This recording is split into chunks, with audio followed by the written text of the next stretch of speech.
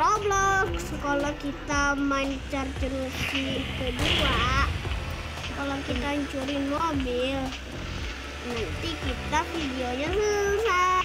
Oke guys ini kita udah